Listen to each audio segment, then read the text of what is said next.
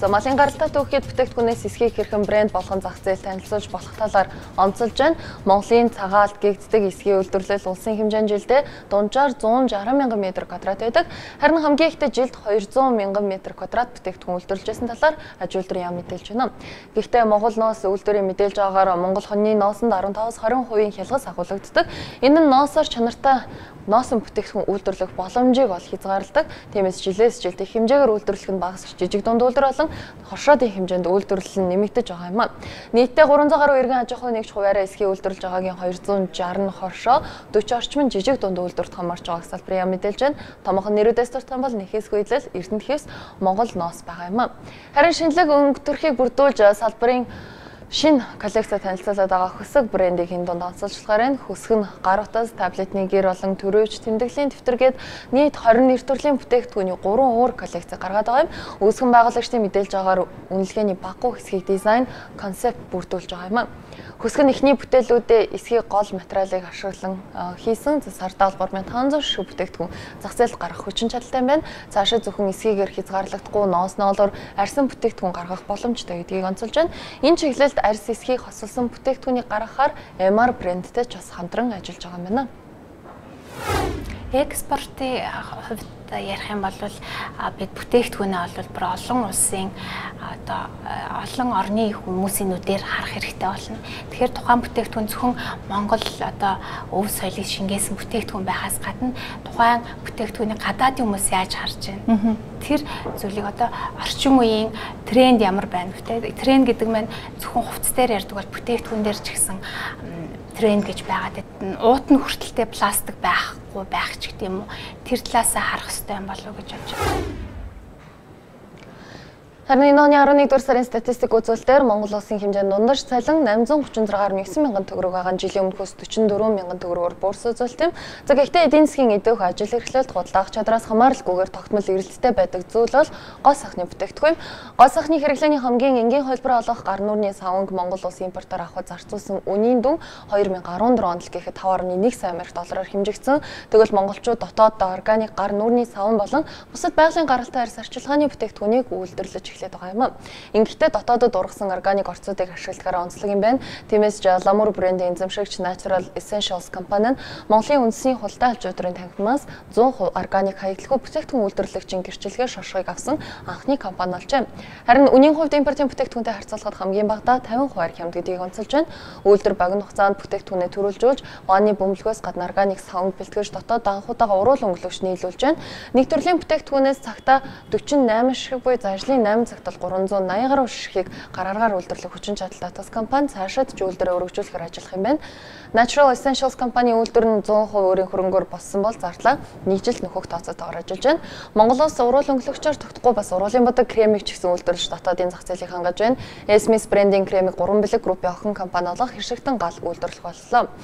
Эрэлт өндөр байсан учраас үйлдвэрийн шугамаа өргөжүүлж ирэх бас Оноос бол илүү их бүтээгдэхүүний нэр төрлийг зах зээлд нэвтрүүлэхээр ажиллаж байгаа. Үүнээс өмнө тус компани 4 өнгийн уруулын бодог, 2 өнгийн нүүрний BB крем анх үйлдвэрлэж эхэлсэн.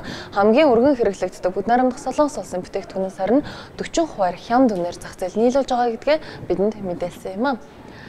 Харин энэ хэсэгт органик гоо сайхны бүтээгдэхүүний талаарх сурвалжлагыг хүргэе. Илүү үнэтэй тансаг гэсэн Монголд нийтлэг гэж хэлж олох ойлголт бол яг энэ органик бүтээгдэхүүний тухайд байдаг. Өдөр тутмын хэрэглээнд ийхүү өргөн нэвтэрч чадаагүй байсан. Тэгвэл орц найрлага гэ тухайн бүтээгдэхүүнийг үйлдвэрлэхэд орсон үйл явц нь органик буюу ямар нэгэн химийн зохиомл бодис бүтээгдэхүүнээс ангид үйлдвэрлэл дотоодод хэрхэн амжилттай эхэлж нэвтрээд байгааг бид сурвалж авсан байгаа хүлээнэ.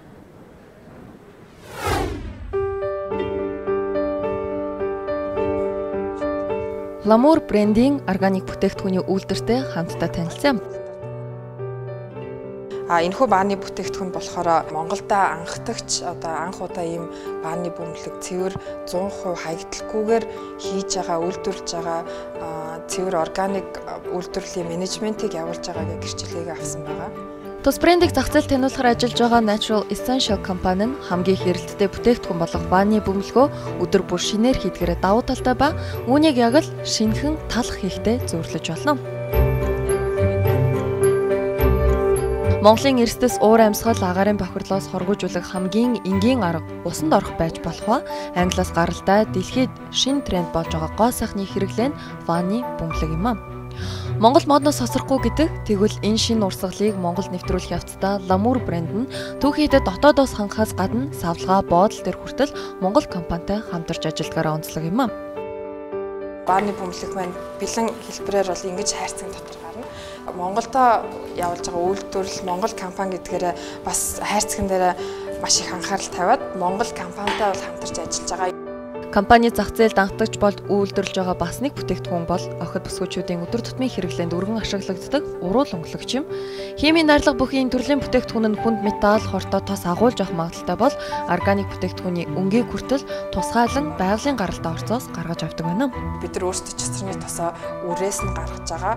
Аа бид нар часранаа өөрсдөө хатаагаад үрийн түүж аваад ингээд өөрсдийн тосоо хэрэглэснээр гол нь бас нэг өндөр чанартай юм юм баталгаад бүтээгдэхүүнийг бол хэрэглэгчтэй хүргэнэ. Одоо энэ зүгийн лав гэхэд яг цэвэр хөдөөний зүгийн лав ямар ч холцохгүй Тэгвэл бас нэг анхаарал татсан бүтээгдэхүүнээр гар хийцэн савнг нэрлж болохоор нь энгийн мэд харагддагч өндөр чанарын бүтээгдэхүүн нь маш нарийн технологи боловсруулалт шаардлагыг бидэнд хэлж байлаа.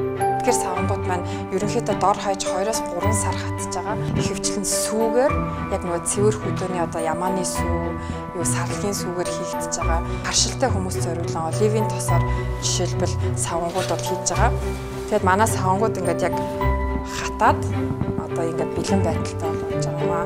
Компани зүгээс цаашид биеийн скраб тос гих мэт өргөн хэрэглээний бүтээгдэхүүн үйлдвэрлэхээр төлөвлөсөн бол хямралын үед ч дотоодын бүтээгдэхүүн давуу талтай гэдгийг онцолж байна. Хямралын үеэр ч гэсэн хүмүүс их туртаа авч байгаа. Жага болохоор аль болох яг импортын бүтээгдэхүүнийг бодвол хамаагүй хямдханаар гарч байгаа. Bloomberg дэлгэрмээ 2015 онд үйлдвэрлэлийн салбарт гарсан голлох дэвшилтүүдийг танд хүргэсэн Монголдо бүтээцгээ тусгай хөлбөрийн түрээд өндөрлж байна. Та бүхэн Мямар гараг бүр Bloomberg телевизтэй хамт байснаар дотоодын үйлдвэрлэлийн шин боломжуудтай тогтмол Монголдо бүтээцгээ булангаар дамжуулан хөл авах боломжтой. Bloomberg TV цэгийн веб хуудасны видео хэсэгт ганцнаар мөн булангийн мэдээллүүдийг давтаж үзэх боломжтой. Өнгөрсөн нэг цагийн турш бидэнтэй хамт байсан баярлалаа. Таны их хоны ажилд амжилт хүсье.